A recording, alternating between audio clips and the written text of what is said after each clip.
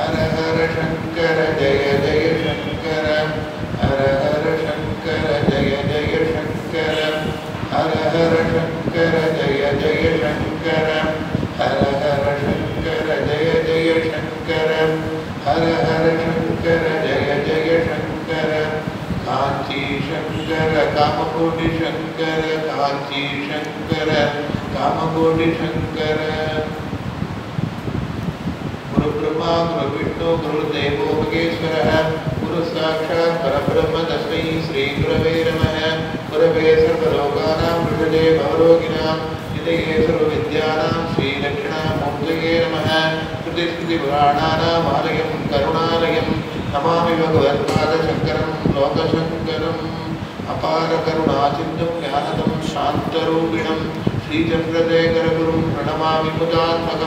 कामकोटिपीठेन्द्र चिन्मयानन्दविग्रहं जगद्गुरु श्री जगेन्द्र सुमुपास्महे नमाम शङ्करात्माख्य विजयेन्द्र सरस्वतीं श्रीगुरुं शिक्षमानुनेधानं सन्मतिप्रदां सद्गुरुचरणारविन्दाभ्यां नमः இந்த மாலை வேளையிலே நமது காஞ்சி காமகோடி பீடத்தினுடைய எழுபதாவது பீட்டாதிபதியாக விளங்கி வரக்கூடிய பூஜ்ய ஸ்ரீ சங்கர விஜயேந்திர சரஸ்வதி மகா சுவாமிகள் அவர்களுடைய மாதாந்திர நட்சத்திரம் உத்திராட நட்சத்திரத்தை முன்னிட்டு உத்திராடத்தின் உன்னதம் எனும் தலைப்பிலே குருவர்களை பற்றி சிந்திப்பதற்காக சாக்தஸ்மி ஐயப்ப சுவாமிகள் சொக்கநாதபுரத்திலிருந்து வந்திருக்கிறார். ஸ்ரீமடத்தின் சார்பாகவும் உங்கள் அனைவரும் சார்பாகவும் அவர்களை வருக வருக என்று வரவேற்கிறோம். அஸ்மதாச்சாரிய பர்யந்தா வந்தே குரு பரம்பரா அப்படின்னு சொல்லக்கூடியது. ஆதிசங்கரர் முதல் எழுபதாவது பீடாதிபதியாக விளங்கி வரக்கூடிய பிரிவாள் உட்பட இந்த அப்படியே இந்த அவிச்சின்ன பரம்பரை வந்து கொண்டிருக்கிறது. அதனால அந்த பரம்பரையில் எந்த விதமான எந்த பிரிவாளை தரிசனம் பண்ணாலும் அதே பலன்கிறது சொல்லி வைக்கப்பட்டுள்ளதுனால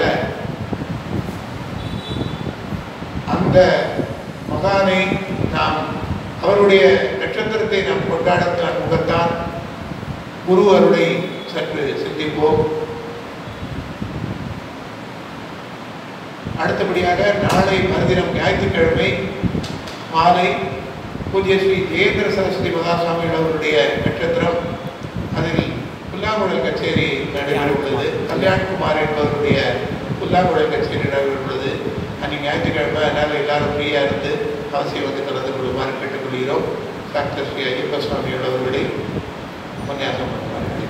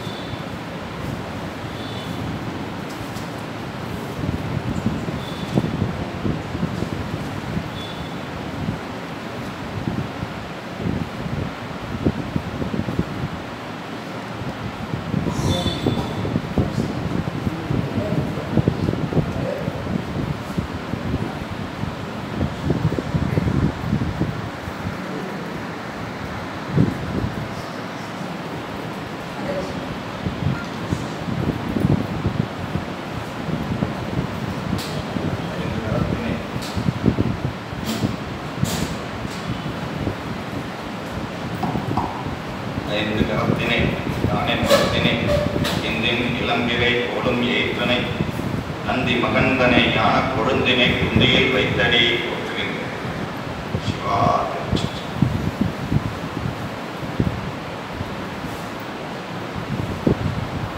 இங்கே குருவருள் என்ற தலைப்பிலே அடியனை உபன்யாசம் செய்ய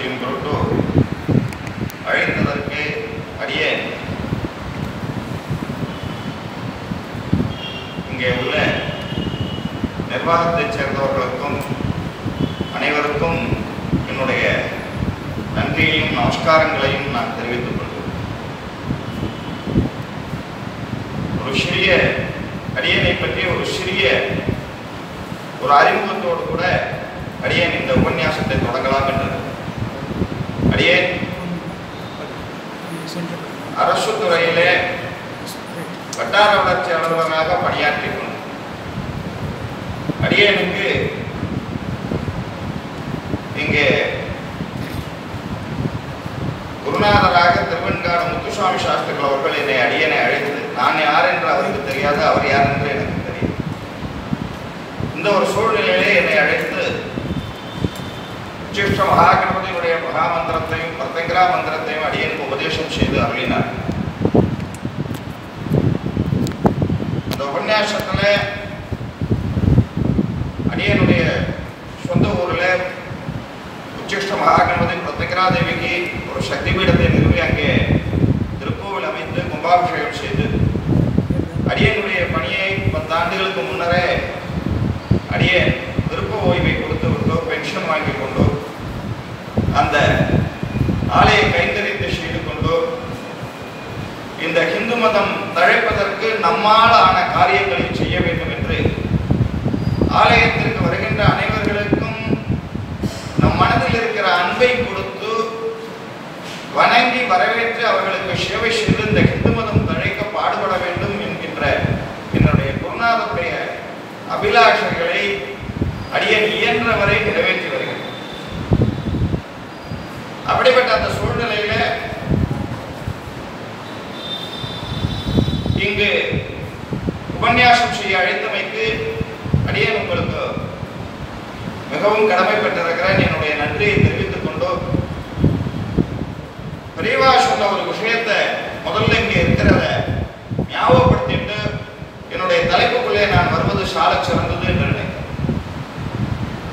பெரியவா இருக்கிறச்ச ஒரு பெரிய பாகவதர் உபன்யாச சக்கரவர்த்தி பெரியவாட்ட போனாலாம் போய் நான்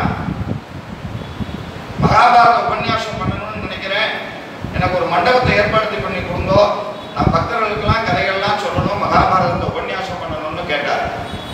உடனே பெரியவா கையை காட்டினா நடக்காத காரியம் என்ன இருக்கு?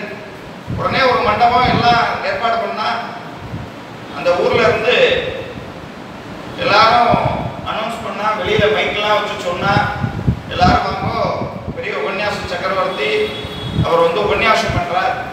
அதை கேட்கறதுக்கு எல்லாரும் வாங்கணும்னு அட்வர்டைஸ்மெண்ட்லாம் பண்ணா நிறைய கூட்டம் வரும்னு எதிர்பார்த்தார் இவர் போய் உட்காந்து உபன்யாசம் பண்ண போனார். பத்து பேர் இருந்தா. உடனே இவர் சொன்னார் பத்து பேரும் நாளைக்கு ஒவ்வொருத்தரும் ரெண்டு பேரும் அழைச்சிட்டு வரணும். நிறைய கதைகள்லாம் சொல்ல இருக்கேன் உங்களுக்கோ. இந்த சந்தர்ப்பத்தை பயன்படுத்தி நல்ல விஷயங்கள்லாம் தெரிஞ்சுக்கோ. ஆளுக்கு ரெண்டு பேரை அழைச்சிட்டு வாங்கோ. தெரிஞ்சவங்கலாம் சொந்தக்காரங்களுக்குலாம் எல்லாருக்கும் சொல்லி அடியனுடைய உபன்யாசம் நடக்கிறது சரியா எல்லாருக்கும் போய் சேரலை. அதனால எல்லாரும் மறுநாள் நிறைய பேரை அழைச்சிட்டு வாங்கணும் மறுநாளும் எல்லாரும் எல்லாருக்கும் ஃபோன் பண்ணி சொன்னா எல்லாரையும் சொன்னா எல்லாரையும் திரட்டினா மறுநாள் வந்தவாளுடைய எண்ணிக்கை ஏழு பேர். முத நாள் வந்ததுல இருந்தும் மூணு பேர் கம்மி. இவர் பார்த்தார் அன்னைக்கு மறுநாள் நிறைய அட்வர்டைஸ்மெண்ட் கொடுங்க இன்னும் நிறைய பேர் சொல்லுங்க அப்படின்னு சொல்லிட்டு அடுத்த நாளும் உபன்யாசம் கதையை கதை ஆரம்பிக்க போனார். அன்னைக்கு வந்திருந்தவருடைய எண்ணிக்கை நாலு பேர். அன்னைக்கு கதையை சொல்லி முடிச்சுட்டு நேர இவர் பெரியவாட்ட போய் அழுதுட்டார். இப்படி இருக்கே நிலவரம் நான் என்ன சொல்றேன் இப்போ சொன்னாரா பெரியவா நீ பகவானை விட பெரிய ஆளுடா கிருஷ்ணனை விட நீ பெரிய ஆளு அப்படின்னு அவருக்கு தூக்கி வாரி கொடுத்து என்னைய போய் பகவானை விட பெரிய ஆளுன்னு நீங்க பெரியவாளே சொல்லலாமா வாயாலே அப்படின்னு. இல்லைடா பகவான் கீதை சொன்னா சொல்லும்போது கேட்டவன் யாரா ஒருத்தன் தான் அர்ஜுனன் தான் கேட்டான் நீ சொல்லும் போது நாலு பேர் கேட்டிருக்கே அப்ப பகவானை விட நீ நாலு பேருக்கு பெரிய ஆள் அப்படின்னு சொன்னாரா? பெரியவா சொன்னார்? அந்த மாதிரி எண்ணிக்கை குறையவா இருந்தாலும் நல்ல விஷயங்களை பேசும்போது நல்ல விஷயங்களை இந்த இடத்துல நம்ம பெரியவா சன்னிதானத்துல சொல்லும்போது நம்ம கூட பகவானும் கூட இருந்து கேட்கறதா நம்ம நினைச்சுப்போம். குழந்தைகளுடைய மழலை தாய் தந்தையை விரும்புவது போல நம்முடைய மழலை பகவான் நிச்சயம் விரும்புவார். அப்படின்னு முகவுரையை ஆரம்பித்து என்னுடைய Break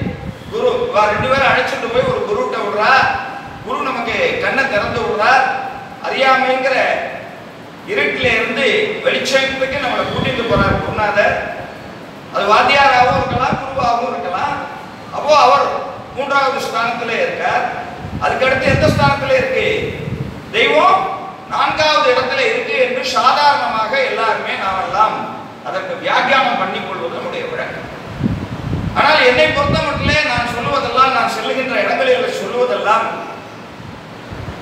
மாதா பிதா குரு மூவரும் தெய்வம் என்று நான் சொல்றேன் இந்த இடத்துல மூவரும் என்ற வார்த்தை தொக்கி நிற்கிறோம். அதை அண்டர்ஸ்டுட் நாம் புரிஞ்சுக்கணும். சில வார்த்தை இல்லாமலே சில வாக்கியங்கள் நமக்கு பொருள் தரும். அப்படி மாதா பிதா குரு மூவரும் தெய்வம். இல்லையா? அப்படின்னா அம்மா அப்பா விட இன்னொரு தெய்வத்துக்கு நம்ம போக வேண்டிய அவசியமே இல்லை. அவளே தெய்வத்திட்ட கொண்டே சேர்த்துடுவார் இரண்டாவது அடைவதற்கு வழிகாட்டுவதும் அடையக்கூடிய பொருளாகவும் குருவே இருந்துட்டா நமக்கு வேற பிரச்சனையே இல்லை. நம்ம தேடி தேடி அடைய வேண்டிய அவசியம் இல்லை. அப்படி மாதா பிதா குரு தெய்வம்ங்கிறது நம்ம பார்க்கணும். இந்த குரு அப்படிங்கிறதுடைய அவசியம் என்ன? இல்லையா? குரூப் அவசியம் என்ன வந்து? என்ன கேட்டேன்னா யுகங்கள் எல்லாருக்கும் தெரியும் நான்கு யுகங்கள். என்னென்ன யுகம்? கிருத யுகம் முதல்ல சக்தி யுகம். இல்லையா? அடுத்து திரேதா யுகம் ராமாவதம். அடுத்து துவாபர யுகம் கிருஷ்ணாவதம். அதுக்கு அடுத்து இப்ப என்ன யுகம் இருக்கு? கலியுகம் நாமெல்லாம் இருந்து கஷ்டப்பட்டு இருக்கிற யுகம்? கலியுகம் இல்லையா? இப்படி நான்கு யுகங்கள் இருக்கு. இந்த நான்கு யுகங்கள்ல முதல் யுகமான கிருத யுகம் அந்த சத்திய யுகத்துல யாரெல்லாம் எங்க வச்சுட்டு இருந்தா அப்படின்னு பார்த்தோம்னா அசுரர்கள். அவெல்லாம் எங்க இருந்தா? பாதாளத்துல இருந்தா. மனுஷாலாம் எங்க இருந்தா? பூமியில. தேவர்கள்லாம் எங்க இருந்தா? வானுலகத்துல இருந்தா. அது வரைக்கும் பிரச்சனை இல்லை. அவ அவளுக்கு அவா இடத்துல இருக்க வரைக்கும் பிரச்சனை இல்லை. அடுத்த யுகம் என்ன யுகம்? திரேதா யுகம். என்ன பண்ணிட்டான் அடியில இருந்த ராட்சசன் மேல வந்துட்டான் யாரு? ராவணன் வந்துட்டான் இலங்கைக்கு இல்லையா அவனை சம்ஹாரம் பண்றதுக்காக யாரு பகவான் ஸ்ரீமன் நாராயணன் ராமாவதாரம் எடுத்து பூமிக்கு வந்துட்டான் ஏற்கனவே மனுஷன் பூமியில இருக்கான் இப்ப எல்லாரும் எங்க வந்தாச்சு தேவர்கள் அசுரர்கள் மனிதர்கள் எல்லாரும் பூமிக்கு வந்தாச்சு இரண்டாவது யுகத்திலே மூணாவது யுகம் துவாபர யுகம் அந்த துவாபர யுகத்துல யாரெல்லாம் எங்க இருக்கான்னு பார்த்தோம்னா எல்லாரும் ஒரு குடும்பத்துக்குள்ள வந்துடுறாங்க எப்படி வந்துடுறா பாண்டவர்களுக்குள்ள சொந்தக்காரனா கிருஷ்ணனும் வந்துடுறான் துரியோதனாதிகள் அசுர கூட்டமா வச்சுப்போம் தேவர்களா பாண்டவர்களை வச்சுட்டா எல்லாருமே உறவுக்காரால ஒரு குடும்பத்துக்குள்ள வரும் அடுத்த யுகம் என்ன யுகம் கலியுகம் இந்த கலியுகத்துல என்ன பண்ணா இந்த அசுரர்களும் தேவர்களும் அங்கங்க இல்லாம மனுஷனுக்குள்ளேயே வந்து ஒரு நேரம் இருக்கிறவன் ஒரு நேரம் சரியா இருக்கிறது. ஒரு நேரம் என்னவா இருக்கான்? சாந்தமா இருக்கான். ஒரு நேரம் உக்கிரமா மாறிடுறான். ஒரு தேவர்களும் அசுரரும் ஒரு மனுஷனுக்குள்ளேயே வந்துட்டான். அப்படின்னா நம்ம எந்த நேரத்துல எப்படி இருக்கோங்கிறத உணர்ந்து நம்மை சரியான பாதைக்கு நம்மை உயர்த்தி கொண்டு நம்மை சரியான திசைக்கு கொண்டு போக நமக்கு ஒரு குரு அவசியம். நிச்சயம் குரு அவசியம் என் காலம்பரை கடை திறக்க முன்னாடி ஒரு மாதிரி இருக்கலாம் பத்து மணி பன்னெண்டு மணிக்கு கடை திறந்த உடனே வேற மாதிரி மாறி. இல்லையா? இதெல்லாம் எதனால நடக்கிறது? கலியுகத்தினுடைய வாசனையாலே இதெல்லாம். அப்ப கலியுகத்துல ஒரு குரு இல்லாம நம்ம பகவானை அடையும் அப்படின்னா ரெண்டு விஷயம். நீங்க ஆன்மீகம் பக்தி ரெண்டையும் தனித்தனியா பார்க்கணும். பக்திங்கிறது சரணாகதி. இதுக்கு இடையில குரு எல்லாம் தேவை ஒரேடியா சரண்டர் பகவான்கிட்ட. எல்லாம் நீ சகலமும் நீ அவனே உண்மை புரிச்சுக்கலாம் ஆனா இந்த ஆன்மீகம் ஆன்மீகம் என்னது பக்தினா என்ன ஆன்மீகம் என்ன பக்தினா பகவான் இருப்பது உண்மை என்று நம்புவது அந்த உண்மையே பகவான் என்று நம்புவது ஆன்மீகம் ஆன்மீகத்திலே உயர்ந்த நிலைக்கு நாம் செல்ல வேண்டும் என்றால் குருவினுடைய கடாட்சம் குருவினுடைய அருள் குருவினுடைய வழிகாட்டுதல் நமக்கு அவசியம் ஆன்மீகத்திற்கு அதுதான் நம்மளுடைய குருவர்களுடைய அவசியத்தை நம்ம பேச போறோம். இந்த குரு என்ன செய்யறார் ஆணவம் வரும்போதெல்லாம் அழிச்சு நம்மளை வழிகாட்டுறார் இல்லையா? இன்னொரு சமயத்துல என்ன பண்றார் குருங்கிறவர்? எப்பெல்லாம் நமக்கு பக்தனுக்கு சிரமங்கள் ஏற்படுதோ எப்பெல்லாம் கஷ்டம் ஏற்படுதோ அப்பெல்லாம் கூட வந்து நம்மளை இருந்து காப்பாற்றார் இல்லையா? இப்படித்தான் இந்த குரு சிஷ்யன் உறவு நமக்கு ஆரம்பமாகிறது. இந்த குருவை தேடுறோம் நாம. எல்லாருமே குருவை தேடி போறோம். எங்க போய் குரு தேடுறது? எப்படிப்பட்ட குரு பிறப்பார்? நிறைய உத்ராட்சம் போட்டுண்டு நிறைய பட்டையெல்லாம் விபூதி எல்லாம் பூசிட்டு நிறைய குங்குமம் வச்சுண்டு பெருசா காஷாயம் எல்லாம் கட்டின்னு இருந்தா குருவாயிடுவாரா?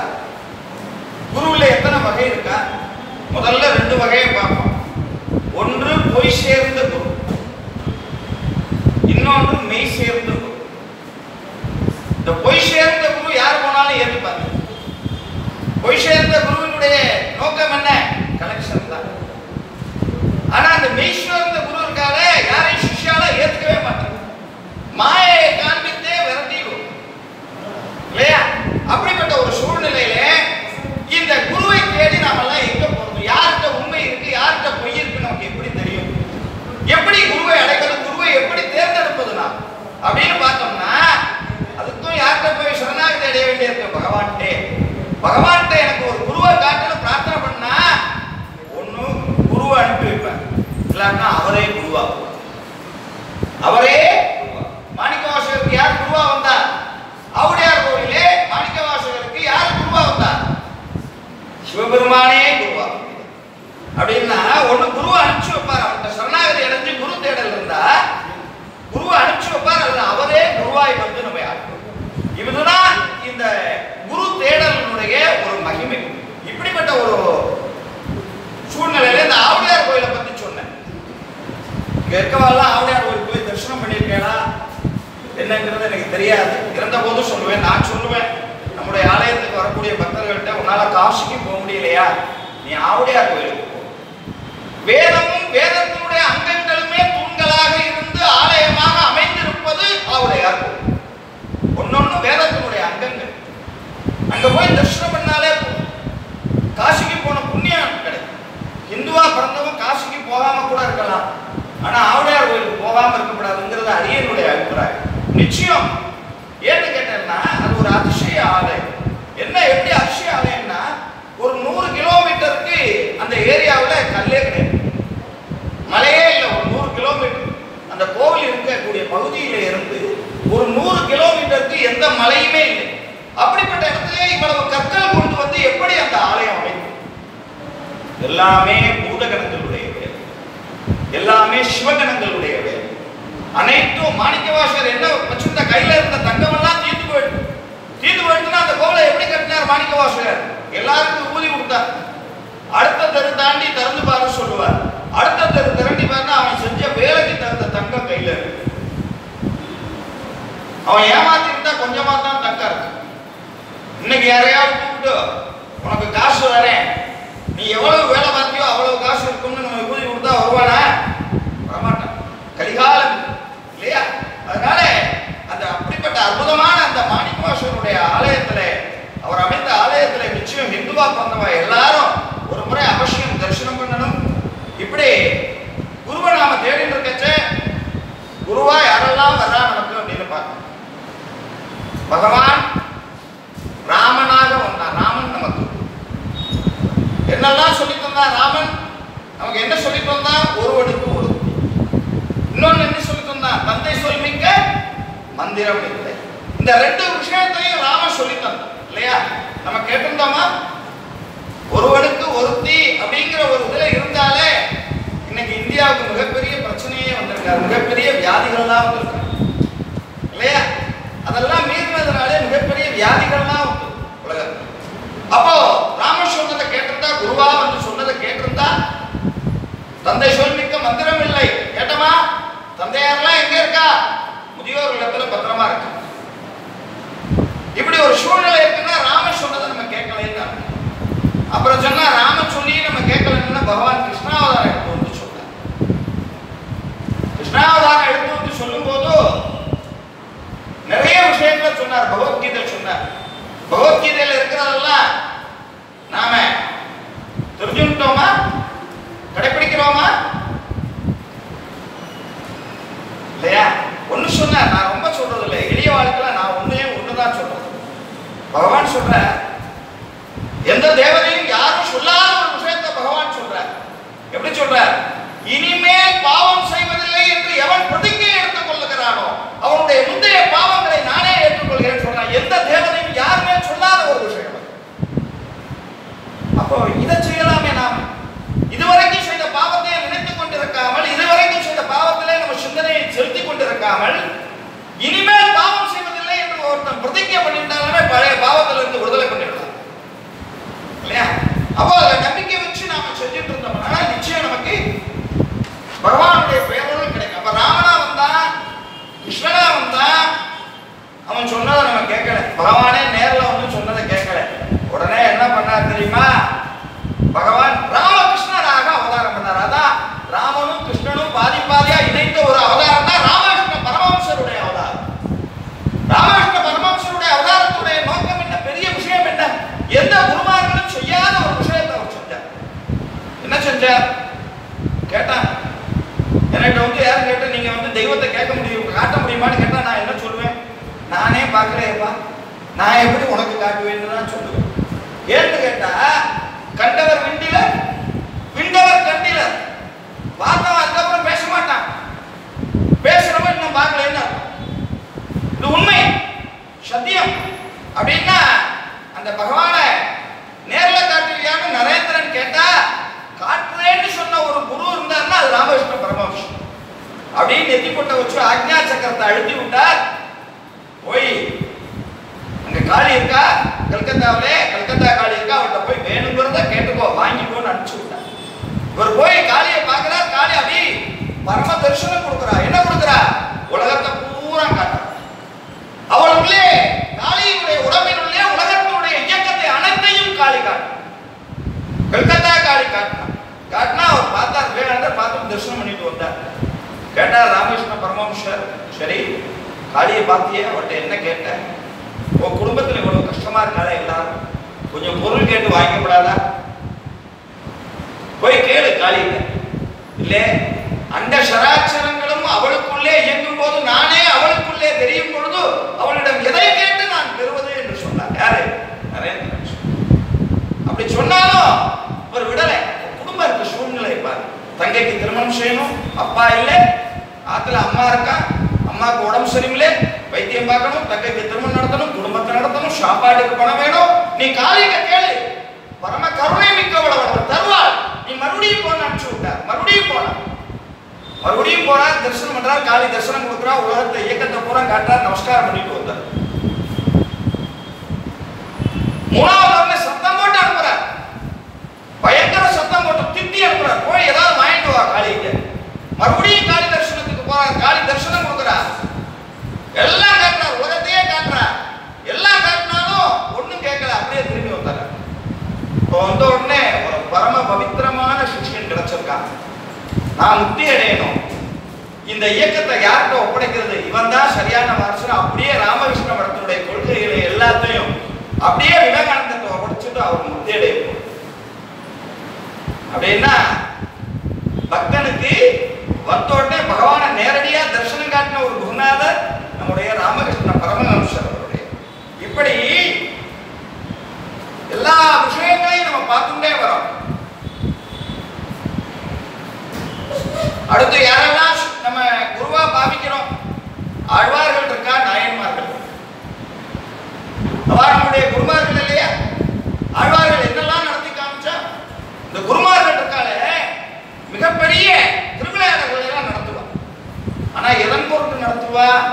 தன்னை உயர்த்தி கொள்வதற்கோ தனக்கு ஒரு ரசிகர் மன்றம் வைத்துக் கொள்வதற்காகவோ குருநாதர்கள் திருவிளையாடல்களை நடத்தி காட்டுவதில்லை. இறைவன் இருக்கிறான் என்று பாமரர்களுக்கும் அறுதியிட்டு நிரூபிப்பதற்காகவே பல திருவிளையாடல்களை குருநாதர்கள் நிகழ்த்தி இருக்கிறார் அப்படின்னா ஆழ்வார் என்ன பண்ணா தமிழ் பாட்டு பாடி பல அதிசயங்களை நிகழ்த்து தமிழ் பாடல்களால. மந்திரம்னா சமஸ்கிருதத்துல மந்திரம் சொன்னாதான் இல்லை. தமிழ் பாட்டு பாடினால அர்த்தம் உண்டு. தமிழ் பாட்டுக்கும் தெய்வம் இறங்கி வந்து கேட்டிருக்கிறது அனைத்தையும். இல்லையா? சத்தியம் ஒன்று இருக்கணும். நம்ம ஹோமம் பண்றது சமஸ்கிருதத்துல பண்றோம் சரி. இன்னும் கூட நிறைய பிரச்சனைகள்லாம் வந்து கும்பாபிஷேகம் தமிழில் நடத்துகிறேன். யாகங்கள் தமிழில் நடத்துகிறேன் என்றெல்லாம் பிரச்சனை வந்தது அதுக்கெல்லாம் தீர்வு ஆழ்வார்களும் நாயன்மார்களும் நமக்கு சொல்லிவிட்டு சென்றிருக்கிறார்கள் அதை புரிந்து கொண்டாலே நமக்கு குழப்பமே கிடைக்காது. அதுக்கு அவளே பதிலாம் சொல்லிட்டு போயிட்டான் ஆழ்வார்களும் நாயன்மார்களும் எதுல ஹோமம் பண்ணணும் எந்த முறையில எல்லாம் செய்யணும்னு அவளே நமக்கு எல்லாம் சொல்லிட்டு போயிட்டான் எப்படின்னு கேட்டேன்னா சுந்தரர் இருக்கார் அவினாசிக்கு போறார். அவினாசியில போனா ஒரு ஆத்துல பூணல் போட்டு வச்சுட்டு மங்களகரமா ஒளியை எழுப்பின்னு இருக்கா பூணல் போட்டு வச்சுட்டு இருக்கா ஆஹா அப்படின்னு அப்படி கடந்து போயிட்டு இருக்கார் ஒரு பையன் ஏழு வயசு பையன் சந்தோஷமா உபநயனம் பண்றா பிராமணன் செய்ய வேண்டிய காரியங்களை செய்யறா அப்படின்னு சந்தோஷமா பண்ணி வச்சுட்டு போயிட்டு இருக்கான் போயிட்டு இருக்கும்போது அடுத்தாப்புல போறார் ஒரு வீட்டுல அழுகை குரலுக்கு ஏடா இந்த வீட்டுல அழறா? எய்தாப்புல உள்ள ஆத்துல மங்களகரமான குரல் இங்க அழுகை குரல் கேட்கறது என்ன விஷயம்?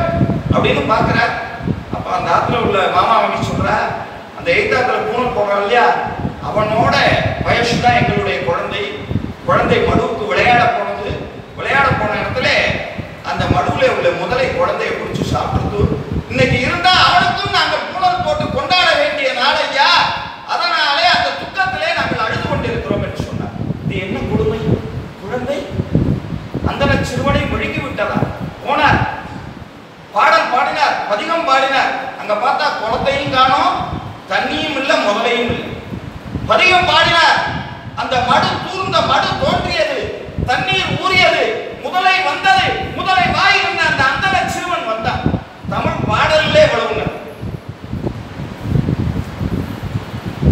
சம்பந்தர் என்ன பண்ணார் மயிலாப்பூர்ல சிவனேசன் செட்டியாரின் செல்வ மகள் இறந்து போனா இறந்து போனதை என்ன பண்ணார் அந்த சுடுகாட்டு சாம்பலை எடுத்துக்கொண்டு வந்து பானையில வச்சிருந்து சம்பந்தத்தை ஒப்படைச்சார் ஐயா இவளை உமக்கு மனம் பிடிப்பதற்காக நான் வைத்திருந்தேன் ஆனால் அவள் விஷம் தீண்டி இறந்து போனாள் அவளுடைய சாம்பல் இந்த இருக்கு அதையாவது உங்கள்கிட்ட ஒப்படைக்கிறேன் அப்படி இவருக்கு மேல்காலம் விஷத்தது அப்படியே பதிகம் பாடினார் தைப்பூசம் காணாமல் போவாயோ பூம்பாவாய் பாடினார் அப்படியே அந்த சாம்பலில் இருந்து பூம்பாவை அப்படியே எழுந்து வந்தார் இல்லையா தமிழ் பாடலாலே நடந்தது அதிசயம் இப்படி குருமார்கள் எல்லாம் தமிழ் பாடல்களை நடத்தி வச்சு ஆழ்வார்கள் நாயன்மார்கள் காலத்துல அவன் நினைச்சிருந்தான்னா அன்னைக்கே தமிழ்ல ஒரு இது போட்டு தமிழ் பாடல் இந்தந்த பாடலை வச்சு ஹோமம் பண்ணுங்கன்னு சொல்லி வச்சுட்டு போயிருப்பா அவ சொல்லல ஏன் சமஸ்கிருதம் அந்த ஹோமங்களுக்கும் கோவில் வழிமுறைகளுக்கும் உரிய மொழி என்பதை ஆழ்வார்களும் நாயன்மார்களும் அங்கீகரித்ததாலே தமிழ் பாடல்கள் ஆலயங்களிலே பாடுவதற்கும் ஹோமங்கள் பிரதிஷ்டைகள் கும்பாபிஷேகங்களுக்கு சமஸ்கிருத மந்திரங்கள் இருக்க வேண்டும் என்பது ஆழ்வார்கள் நாயன்மார்களுடைய தீர்க்கமான முடிவா இருந்தனால அவளே அதை செய்யாம விட்டு போயிட்டான் இப்ப என்னமோ சில பேர் நாம சொல்லக்கூடாது. அந்த நாயன்மார்கள் ஆழ்வார்களோட பெரிய ஆளா சில பேர். சில சில சம்பிரதாயங்களுக்கு எதிரான செயல்களை நடவடிக்கைகளை எடுக்கிறார். பகவான் பார்த்துப்பான் எல்லாத்தையும் இல்லையா?